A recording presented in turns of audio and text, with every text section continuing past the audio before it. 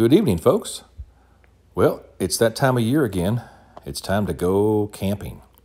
Before we go, I need to install a generator on this rig. After researching Honda and Champion, I went with the Champion. They have a dual fuel machine, which I really like. This thing has electric start, and it also has a true 30 amp receptacle for a camper lead.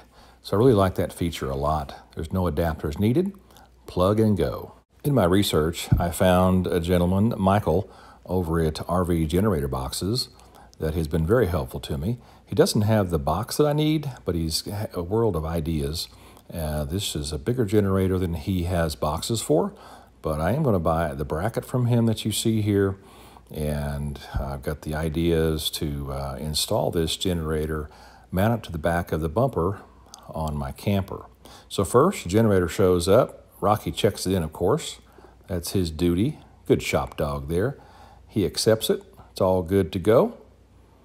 It does come with a manual. Very well packaged, I must say. Mm -hmm. A few accessories, a funnel, a uh, propane line, some things you're going to need. Wrapped in plastic. This thing does weigh 100 pounds. So we'll get positioned here and lift this thing out of the box and show it to you. This generator is meant to be portable. It has a nice sturdy handle, some nice rubber wheels. So let's take a closer look at the controls on this machine.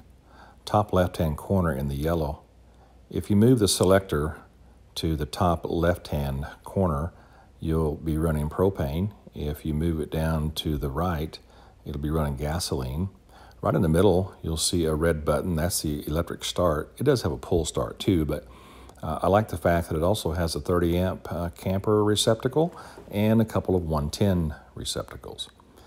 So I turned it over to see how best to mount this mounting plate that's going to mount to my bumper. I removed the pads that were there and also removed the wheels just to set that mounting plate right down on top of it and sort of see what it's going to take to mount it. It actually fits on there pretty good, although it's not made for this generator. I think with a couple mods, we can make this work great. I tried a couple of isolators there that came off of the machine, kind of an approach to see how that might work because the wheelbase is too wide. But I did determine that if I just took the wheels off and made a slight modification, I could narrow the wheelbase and it would still fit that bracket. That's what I'm doing now.